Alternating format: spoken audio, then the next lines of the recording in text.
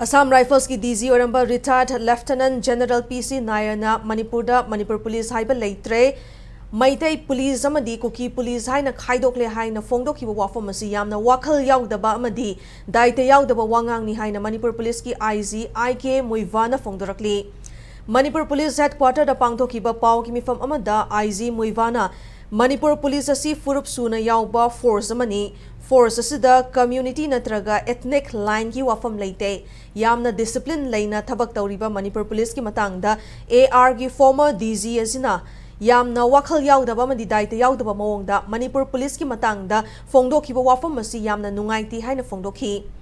ꯃꯍꯩꯔꯣꯏꯁꯤꯡꯅ ꯆꯪꯁꯤꯜꯂꯛꯂꯤꯕ ꯈꯣꯡꯖꯪꯒꯤ ꯃꯇꯥꯡꯗ ꯋꯥꯐꯝ ꯊꯝꯂꯗꯨꯅ ꯑꯥꯏ ꯖꯤ ꯃꯨꯏꯚꯥꯅ ꯗꯦꯃꯣꯀ꯭ꯔꯦꯇꯤꯛ ꯑꯣꯏꯕ ꯃꯑꯣꯡꯗ ꯄ꯭ꯔꯣꯇꯦꯁ ꯇꯧꯔꯛꯄꯗ ꯑꯀꯥꯏꯕ ꯂꯩꯇꯦ protest ama tawada peaceful oiba mong da tawhaningi violence yaw ba mong da tawhaning day mairoi sing na chang silakli ba protest sing asida group khara na violence thokana ba insin bagi mong ama tawri haina nungnang ba phongdoki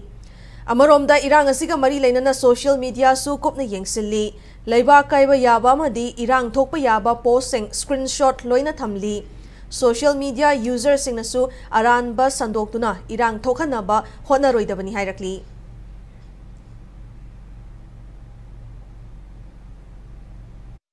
Manipur police is composed of all kinds of uh, communities. Such statement that he has made that it is an immature statement which shows a very myopic kind of uh, mindset. So we want to refute that. Regarding the drone bombing matter, the Manipur police has clarified it on its official media handles very clearly and we stand by it. Regarding the student protest that is going on, we want to appeal to the students that of course a democratic kind of uh, rally and sit-in and all these things are part and parcel of our democratic kind of uh, setup, but we appeal to them not to indulge in violence, create unnecessary kind of uh, problems, uh, which cause injuries even to our police personnel as well as to the students and other civilians.